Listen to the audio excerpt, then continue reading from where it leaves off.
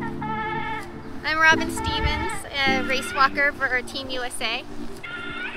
Nick Christie, we're training right now for the proposed 2021 Olympics. Just enjoying our first big snow week. Yep. and I saved you. Yeah. when I got to go to the decathlon grand opening in uh, Emeryville, I saw the CEO talk and it was the first time I've ever seen a CEO cry.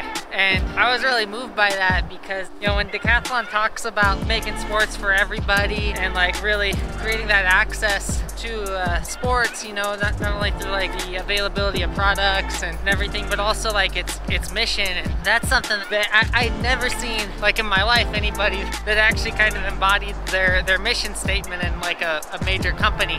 You know, my goal is like to kind of extend out the sport to, to new people and, and open it up and try to try to make it more accessible you know like like that's why I like race walk is that it's uh you know really you just need a pair of shoes and and you're good to go.